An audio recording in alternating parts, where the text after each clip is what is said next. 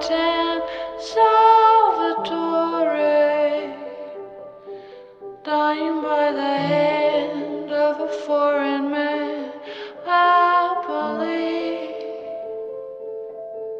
calling out my name in the summer rain, Salvatore can wait, now it's time to eat soft ice cream.